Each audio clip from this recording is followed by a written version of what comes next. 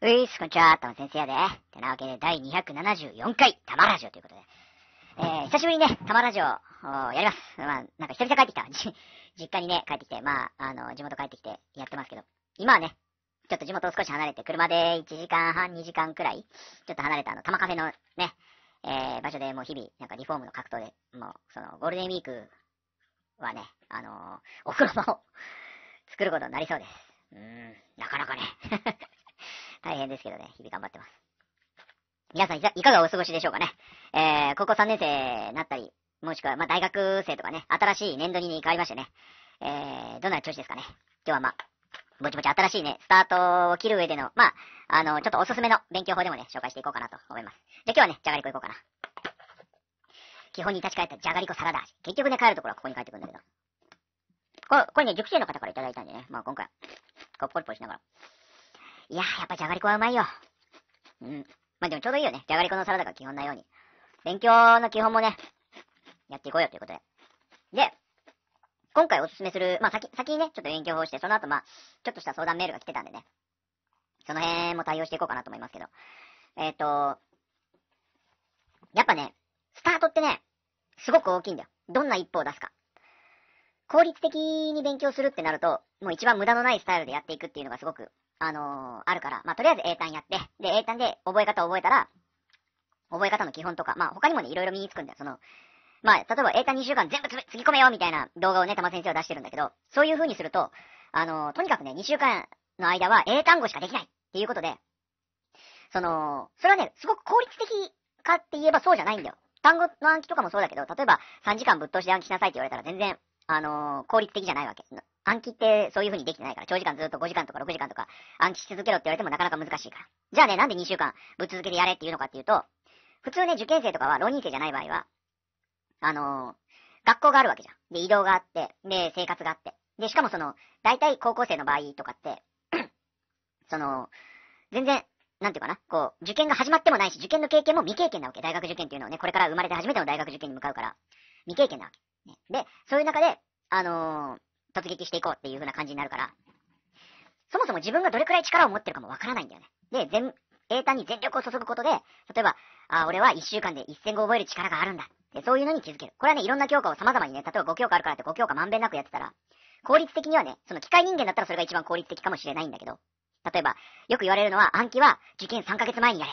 ね、その、せっかく覚えたのが、やっぱ長時間の暗記を保持するためには復習が大事だけど、やっぱりこう 4, 4月5月にね、歴史物の暗記をすると、それだけ長い間保持しとかなきゃいけないから、あの、暗記物は3ヶ月前でいいとかね、そういう風に言われますけど。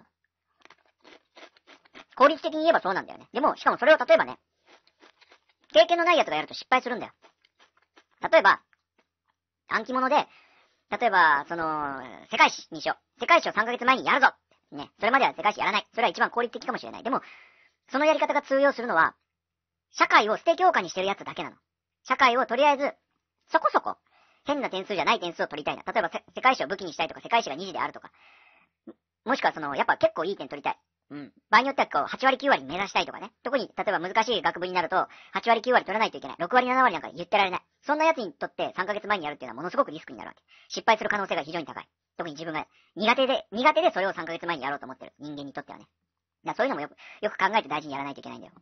で、まあまあ、それでね。で、一教科に絞ると、あの、そういう自分の、いろんなものが見えてくるわけ。ね、自分は暗記はこれぐらいの力があるんだ。で、それだけじゃない。一日の時間のすべてをそこに注げって言ったでしょ。だから、どういう効果が出てくるかっていうと、どんどんどんどんね、受験が始まるときって、みんなもそうだったろうけど、受験勉強ってまだやっぱ本気じゃないんだよ。1年後でさ、経験したことないからさ。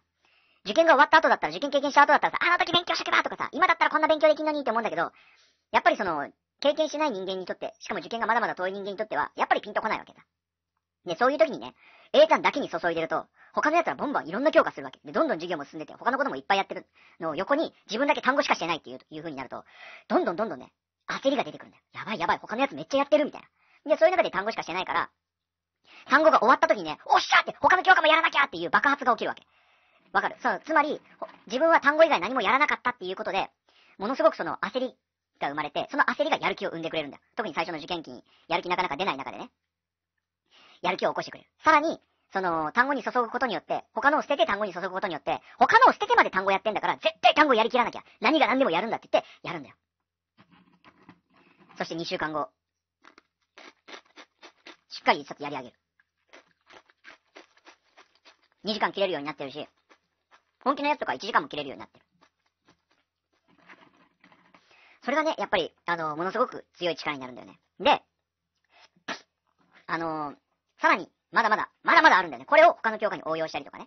するだけじゃなく、その、例えばずっと一日中単語単語単語単語って思ってると、できるだけその2週間後にこの単語で結果を出さなきゃ、この単語で一冊やり上げなきゃっていう、そういう目的が生まれるから、要はプチ受験体験ができるわけ。英単語だけの2週間後に必ず結果を出すっていうプチ受験体験ができる。この2週間きっちりやりきれない人間は、もちろん1年間のいろんな教科、いろんな種類の勉強はやっぱり同じように結果が出ないことが多いんだよ。だからこの2週間の英単語をやりきれない奴らは、たった2週間ができないんだから。たった英単語だけができないんだから。他の教科もできないかもしれない。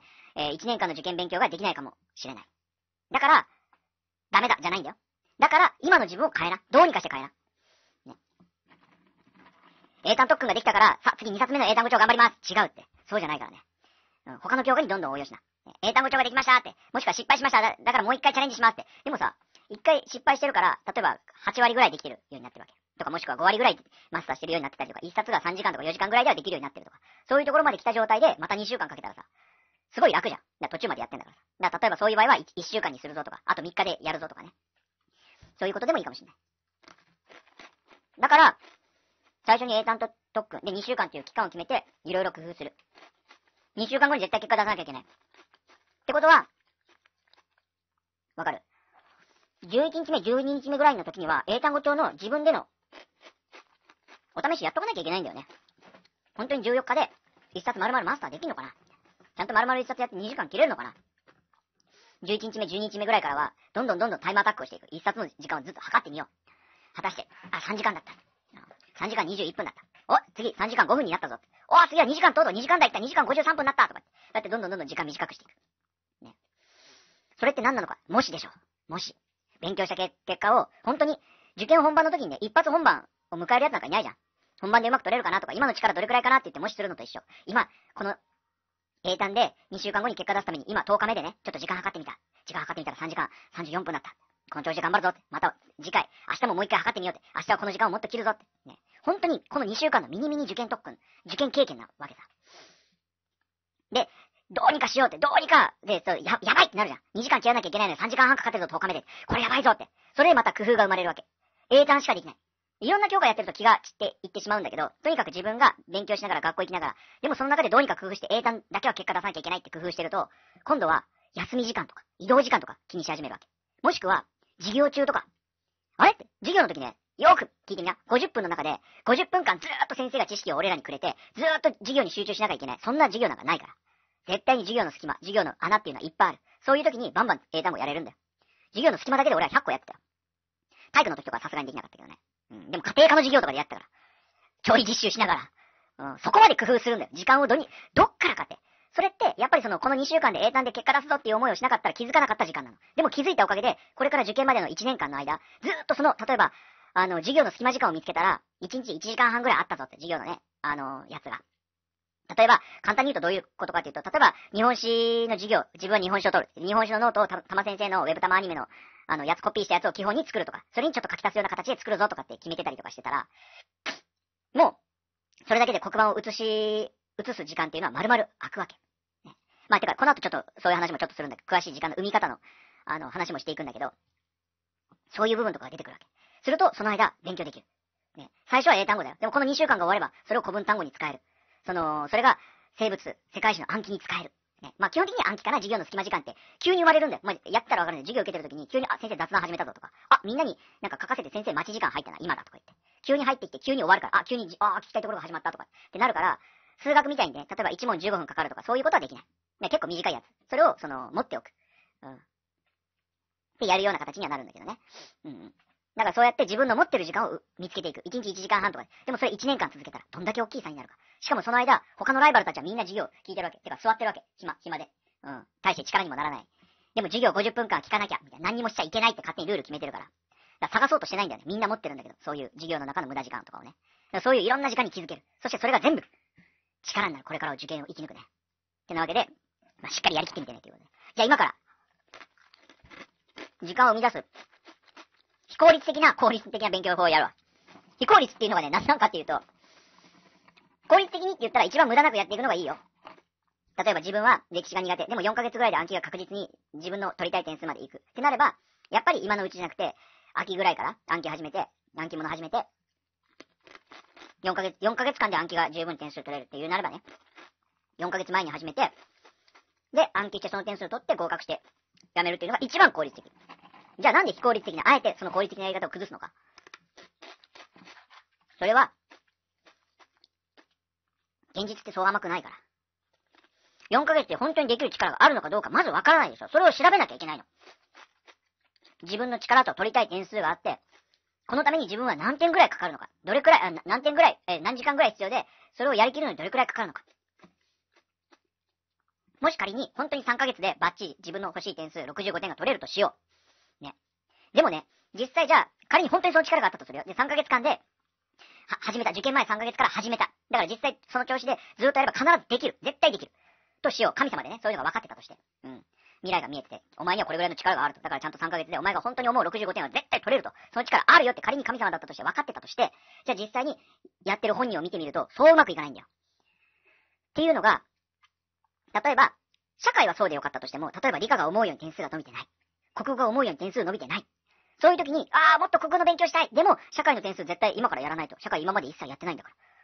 どうしよう。で、社会やらなきゃいけない。で、社会にどんどん点数、時間取られて、で、国語が不安になって、ああ、でも社会してたから、ああ、でも社会しなきゃいけないんだけど、ああ、でも不安だ、不安だって言って、うわあ、国語がやばい、国語がやばいって言って、国語が不安っていうのを抱えながらの3ヶ月になるから、要は、その不安がなかった状態の3ヶ月と違うんだよ。どうしてもね、不安を抱えた状態だと、2つある。不安で。絶対乗り越えるぞっていう気持ちを持ってる状態での場合、とかもしくは絶対夢を叶えるんだっていう思いだと、不安は力になるんだよ。これがやばい。でも、夢を叶えるには絶対これを乗り越えなきゃいけないから、俺はこれをやるんだってバーってやっていくんだよね。でもね、9割の大学生は、とりあえず大学行こう。とりあえず名前のある大学行っとこう。難しい大学行きゃいいんでしょ？とりあえず。っていう感じで勉強してることが多いから、不安に対して負けるんだよ。落ちたらどうしようって、落ちたってどうにやってなるんだよね。本当は夢の叶え方なんか死ぬほどあるんだから。教育格差のぶっ壊し方だって先生になるのもできるけど、塾の先生だってできるし、玉先生みたいにネット塾もできて、最近始めてる、あの、玉カフェ？これも教育格差をぶっ壊せる。特に玉カフェが教育格差ぶっ壊すのに一番向いてる。やり方なんかいっぱいあるんだよ。だから大学もどこ大学行ったっていいし、その大学さえ行ってればどうにでもなる未来がある。場合によっては行かなくたって、どうにでも叶える夢っていっぱいある。でもそういうのがないから、落ちたらどうしよう、落ちたら人生終わりだって思って不安、不安だから、勉強集中できない。勉強集中できないと、あれって3ヶ月でちゃんとやれば終わるのに不安でこの1週間できませんでした。不安でこの3日間できませんでした。その分、わかる。3ヶ月できっちりその点数になる。ってことは逆に言うと、3日使った1週間使った。じゃあ3日分、1週間分足りないよね。間に合わなくなるんだよ。それで結局、うわ、やばい社会も間に合わなくなってきたぞって。国語もやばいのに社会もまずい。ああ、どうしようどうしよう落ちちゃう落ちちゃうって。で、また、そんなこと言ってたら今度2週間勉強できなかった。あるんだから。玉先生もそうよ。ちょっといろいろあってね、それはまあ今回ここでは言わないんだけど、10月の真ん中ぐらいにちょっといろいろあって、2週間丸々一切受験勉強しなかった時がある。クソがとか言って。まあそれは、自業自得なんだけどさ。そういうことがあるんだから。例えばそうじゃなくたって事故って入院したしました1週間とかね。風邪ひきまして寝込みました3日間とか。身内に不幸があったよとか。いろんなことがあるんだから。だから、効率的には例えば3ヶ月でできるんだったら3ヶ月前からかもしれない。でも逆。玉先生がやるのは、これから受験する。初めての経験。もしくは、その、大学行く。でも全然いいよ。ウェブ玉のアニメ見て、どれでもいいんだよ。例えば科学とか生物とか、地学、日本史、世界史。まあ、数学も 1A なら揃ってる。で、古文漢文でもいいさ。えっ、ー、と、古文漢文に関しては勉強のやり方しか載せてない。で、英語だったら、まあ、えっ、ー、と、単語が終わってるやつら長文だな。長文10年分。このゴールデンウィークまでに終わらしてみな。どれか一つ、一教科。国語は古文が確か1週間分くらいでできる。漢文はね、たった1日でできるから、漢文試してもいいし、場合によっては漢文、漢文と古文一緒にでもいいかもしれない。1週間くらいでできる。英語だったら、えー、長文10年分マスターしな。速読特訓っていうのがあるから、速読特訓で徹底的に10年分マスター。もしできるなら20年分マスターしな。意外と20年分くらいできるんだ。だけどね、実際は。俺はが、えっと、リアルに教え子を見てたときは、1週間で、えー、15年分の長文をやらせました。な、だいたい1日2つずつぐらいって感じね。あー、だから14か。1日2つずつ。で、1週間後に14年分マスターさせた。うん。世界が変わるから。マジ英語長文めちゃくちゃ、うわって、こんな話だったのって。めちゃくちゃ英語が変わる。数学も1へ徹底的にやった後、数学はね、1週間でできるかな結構動画が多いんだよね。うん。で、必ず、俺のアニメだけじゃない。絶対アニメだけじゃなくて、その後、センター実況っていうのがあるから。センター実況をやってみて。全教科が無理でもいい。全教科が無理でもいいから、その場合は、例えば、数1へのこの分野とこの分野をマスターしようとかね。そんなんでもいいから、実況まで見るスタイルで、ちょっとやってみて。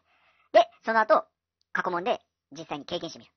英語とかもね、実際過去問とかやってみる。古文漢文とかもやり方、俺のアニメ見てやってみるとか。もしくは、リーシャーね、世界史、日本史、生物、科学、地学。科学はね、まあ、あの、まだ進化点になってない。相変わらずの科学1のまんまだけどね。これどうしたらいいのかっていうと、それはね、簡単。俺のアニメを全部一気に見る。一気見する。ブワーって。うん。そっちの方は、まあ、暗記が強くないといけないから、見てすぐ点数になるってわけじゃないから、一通りズワーって見た後問題集をやる。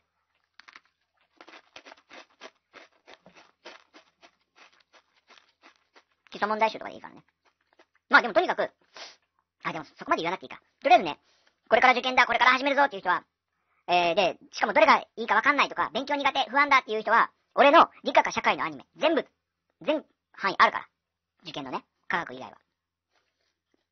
で、物理自体はそもそも作ってないけど、とか地理とかは作ってないけど、ある教科のやつは、歴史、世界史、生物、地学とかだったら全部あるし、科学も大体向き勇気は変わんないから。で、そこにちょっとほら、圧力とか加わっただけだから、そういうのが足りないだけだから、その全範囲のアニメをとりあえず1回だけ見て。え、って。大変じゃないですか全範囲見るのって。俺のアニメ5時間で終わる。5時間で1教科終わる。だから5時間で見てみてくれ。1回じゃ不安だなっていう人、2回目、3回目見ていいから。で、えっ、ー、と、クロームってやつかなで、えっ、と、YouTube を再生すると、えっ、と、1.5倍速とか2倍速になるから、2回目3回目はね、1.5倍速とかにして見てみると、あの、早く見れるからね。うん。意外とその、1教科は5時間だけど、2回目からは3時間で済むとか、2時間で済むとかってなってくるから。3、4時間とかね、短い時間で済むようになってくるから、とりあえず一気に全部見てみて。そしたら、世界が変わる。わーって。授業とかも、不安なん、不安というかね、わからないんだよ。これからどういう、どれくらいの量があって、どれくらいやらないといけないのか。そういうのが全く見えない。そういう中でずっと勉強してる。でも俺のアニメで、一通り全愛全部終わらせておくと、なるほどそうかってなるわけ。で、しかも、玉先生の場合はギャグとかアホみたいな理由がいっぱい書いてある。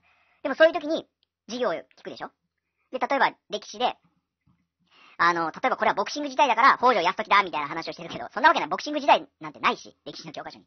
そんなのないんだけど。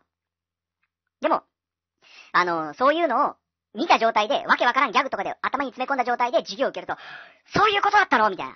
なって、授業がめっちゃわかるようになるんだよ。しかも、例えば、えー、っとね、世界史はカードがあって、日本史の場合はノートがあるから、そういうのとかで前もって勉強してたりとか、あのー、もうすでにそういう状態で作った状態にしておけばノートを書く時間もものすごく減るじゃん、授業の。だから先生の話を聞くのに集中できるし、その、先生がどうでもいいようなことをやってたり、みんながね、あの、黒板写しまくってて時間潰してる間とかは、自分で問題集をやったりとか、そういうこともできるんだよ。授業の範囲で、例えば、室町やったから、じゃあ室町の間の問題集、今やっとこうみたいな。あ、授業受けながらだからすごい解けちゃう。わかるとかね。逆にまた、その室町でわからんところとかは、う、開けといて。うん、なんでこの答えなんだろうな、わからんなとかって思う部分は開けといて、授業聞いて、そこに書き足すとかね。あ、これこういうことあったんだとか。あ、これ問題集載ってないから、ちょっとここ書き足しとこうとかね。授業のマル秘の、あの、豆知識みたいな書き足しておくとか。そうすることで、授業がものすごく生きてくるんだよ。で、全体を見通してるから、あ、自分って、例えば生物、ね、生物は、あー、生物7割取るんだったら自分だったら、これぐらい勉強したらね、例えば半年ぐらいで意外と自分の欲しい点数70点いくんじゃないかなとか。そういうのも見えてくるわけ。全部が。全範囲が一旦見渡せるから。で、全範囲を見渡ってすごい大変そうだけど、俺のアニメでせいぜい4、5時間で終わる。4、5時間ってことは半日だよ。お昼からお、お昼ご飯パクパクって食べた後、よし、じゃあ今日のお昼だけ。ね。今日友達と遊びたいって誘われたんだけど、それちょっと我慢して、たった半日、お昼の1時からね、お昼ご飯食べて1時から夕飯の6時まで、この5時間だけ頑張ってみようって言って、5時間座って俺のアニメ見るだけ。全範囲終わる。世界が変わる。今までね、もししても、うわわかんねえよ、なんだこれ聞いたことねえだったのが、あ、これアニメで見たぞとか。問題間違ってても、あ、これ見た。この単語知ってる。解説読んだ時も、あれ？解説意味わかんなかったけど、なんとなくわかる。ね。そういうのがいっぱい出てくるんだよ。それって、もし例えば、その受験前3ヶ月後、4ヶ月後に勉強始める奴らにはなかったものでしょ？わかる？それは、授業のやる前に、一気に全投資を俺のアニメで、とかでやって、俺のアニメじゃなくてもいいんだよ。他にも授業がいっぱいある。わかりやすい授業いっぱいやってるところもあるし、有料でやってるところもあるよ。学びエイドとか、えっ、と、受験、学びエイドはほら、ちょっとは無料だけどね。全部見るのは多分有料じゃないとダメだと思うし、受験サプリもそうだけど、有料でもいいじゃん。だって塾行く奴らなんか、月2、3万とかさ、あの、映像授業頼んでるやつなんか半年で100万とか200万とかつぎ込むんだよ。それからすればさ、月々1000円2000円なんか、ゴミみたいな値段じゃ。ジュース我慢すればすぐ、お金になる。その、お金ができる値段だし、将来100万、200万、300万、どころじゃないんだよ。何千万、何億って稼ぐんだよ、将来稼いで。それがたった1000円、2000円で変わるんだったらさ、捨てていいよ、そんなの。そんな金。どうにか頑張って、ひねり出せばいいよ。お年玉とか崩したっていいし。で、やんのさ。うん。そして全、全当時で見たら、授業が変わるから。勉強が変わるから。そして、計画が立つから。あ、俺の力だったらきっと5ヶ月。で、きっとうまくいきそうだ。だからちょっとまあ念のため8ヶ月ぐらい前からやって、残り3ヶ月予備日として開けとこう。みたいな。でもええし、そこまで余裕ないなら6ヶ月前ぐらいから取り組むぞとか、そういうことだってできるし。全部通したからこそできる力なんだよね。だからぜひ、これから勉強するぞっていう人たちは、えっ、ー、と、英語だったらおすすめは10年分から15年分の速読シート特訓。アニメあるからね、わからん人は見てくれ。で、国語だったら古文か漢文。これもね、やり方、あの、板野先生のゴロゴっていうやつを使って、銭形漢文とかゴロゴを使ったやり方なんだけど、それがあるから、それのアニメと一緒にやり方見てやってみてくれ。数学だったら、えっ、ー、と、範囲とか決めてもいい。ちなみにね、玉先生のところで、去年予備校できた奴らは、で、一番すごかったのはね、2週間だったから、2週間、その、センター実況までね、ただのアニメだけはすぐ終わるし、あれだけだったら分かった気になるし、どういう風に本番試験でね、使っていいかが分かんないから、あれだけじゃ絶対点数にならないし、あれだけじゃダメだよ。うん。必ずセンター実況も、実際、そのやり方、実況の使い方もアニメがあるから、それを見て、そのやり方で、こう、しっかりやってみると、えっと、すごいやつ90点超えたからね。マジでみたいな。もう、うん。センタースイッチ、全くやってなかったやつが。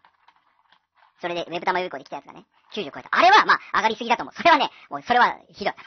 そんな上がんだと思って。そ、その前に、男の子がまた別で予備校できてて、そいつはね、1週間かな？だったけど、それ70点ぐらいいった。2週間だったかもしんない。70点ぐらい取ってて。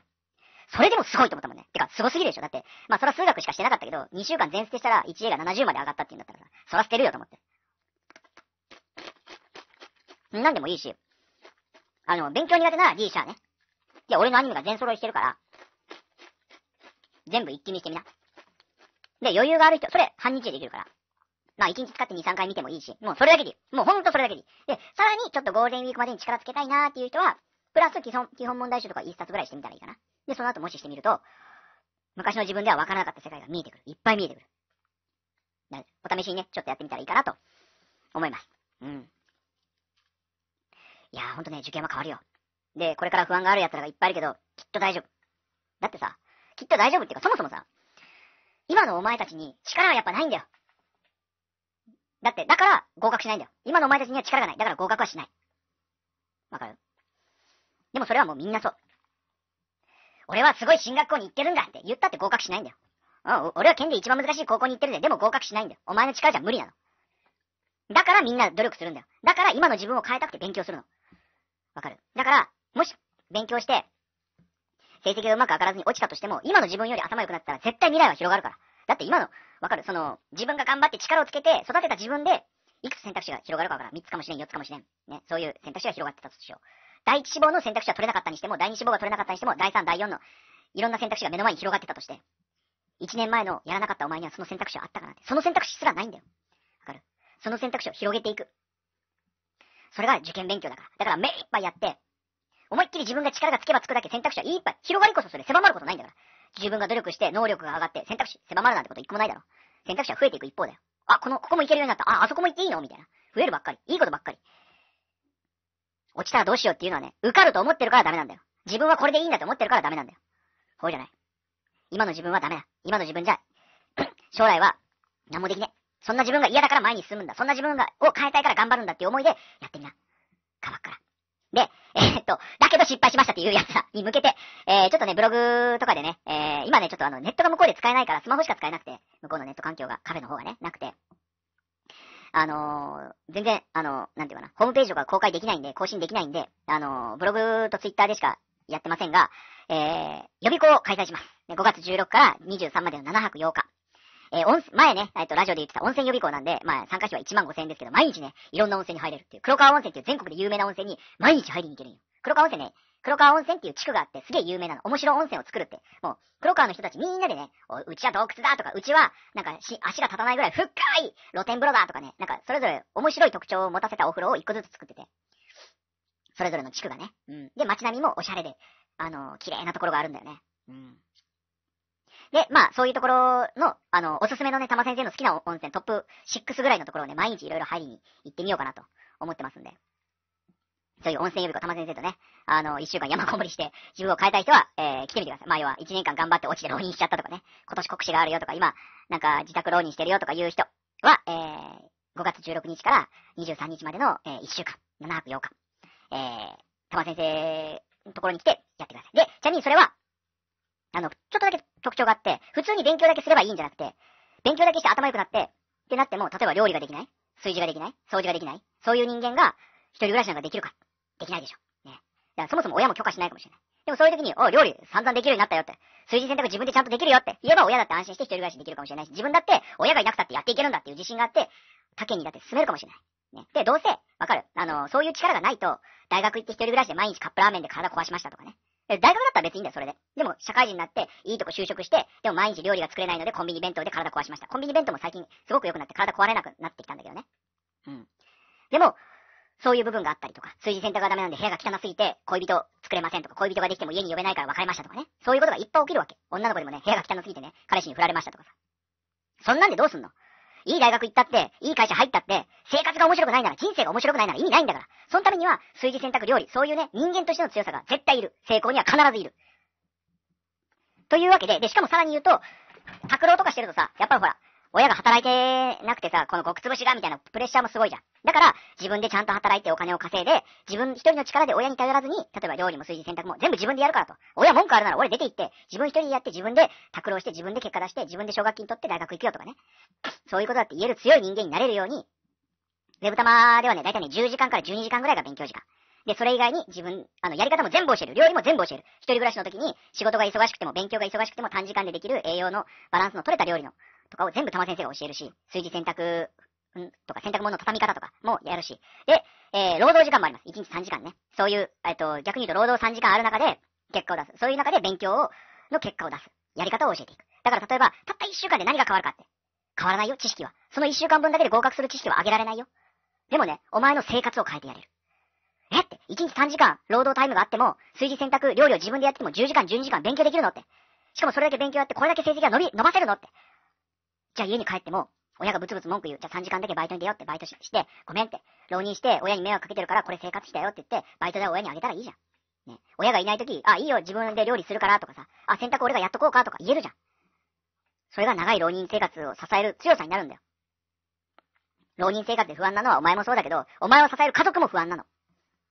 てなわけで、まあそういうこう、まあなんていうかな、もろもろ、とにかくこう、人として強くなるよっていう、その今の自分よりも、勉強の成績とかじゃなくて、もう人間としての強さをちょっとこう、鍛え上げますぜ、みたいな予備校をやります、一週間。あ、で、鍛え上げますっていうか、俺が鍛えてやることはない。俺がやり方を教えるし、こういう風にしたらいいよも全部教えるけど、あくまでやるのはお前たちを。吸収するのはお前たち。よしって、自分の力にするぞって、この予備校を絶対1万5千円かかるけど、1万5千円絶対元取ってやるんだって。だからせっかく1週間で玉先生の横にいるんだから、玉先生から吸えるもの吸っちゃおうみたいな。こんな奴らだけの。そんな奴らだけ来い。玉先生のとこ来たら、えー、人間として鍛えてくれるんだ、みたいな。えー、玉先生のところ行ったらスーパー人間にしてくれるんだ。そういうね、してくれるんだ人間はね、来なくていい。うん。1万5千円だけ俺に取られて、えー、みたいな。なんか大して玉先生してくれなかったわ。で終わるからな。そんな奴はね、どうせ、1週間で少年が叩き、治らんことには、自分を助けてくれる人間を探して生きていくだけの人間になるけんね。うん。そういう頼り人間はね、いらん。どうせ成功せんから。そういう奴を応援する時間はもったいないから。うん。だから、絶対自分を変えてみせるんだって、やってやるんだっていう奴らがいたらね、えー、一応5月の16から23まで7泊8日1週間分丸々、えっ、ー、と、空いてないと大変ですけどね。うん。そういう人がいたら来てください。ちなみに大学受験だけじゃなくて、浪人生だけじゃなくて、えー、普通に社会人の方で資格を取りたいとか、まあなんか、まあ、様々ないろいろな、なんかやりたい。例えばお金貯めたいとかでもいいし、まあ、そのなんかの勉強したい、公務員勉強したいとかでもいいし、もうとにかく何でも何か夢がある。これをやってみたい、あれ、あれしてみたい。例えば、旅行行ってみたいとか、ただ玉川先生のリフォームを手伝って大工仕事を覚えてみたいとかでもいいし、実際例えばほら、玉カフェのやり方習ってね、玉カフェ開いてみたいでもいいし、そういう諸々のやつ。ごめん、アニメの作り方だけは、マンツーマンで見せないといけないから、これはね、もうちょっと後でやろうと思うんだけど、それ以外のやってみたいことがあった。まあでもやってみたいことがあるんだったら、とにかく、一旦俺にメールをしてみてくれ。参加できそうな人がいたら。え、部分参加は申し訳ないけど、認めてないから、1週間丸々、7泊8日丸々、えー、過ごして頑張れる奴らだけなんだけど、そんな奴らがもしいたら、えっ、と、このブログとかね、ホームページとかいろんなところにその、アドレスを書いておくから、玉先生のアドレスにメールをください。ってなわけで、えー、まあ別にメールしたからって絶対参加ってわけでもないから、例えば話聞いてみたいとかどんなかなとか言うんでもいいんで、まあそういうのがあったら連絡してみてな。ってなわけで、えー、274回玉ラジオでした。受験勉強大変やるけど、頑張るな。相手はね。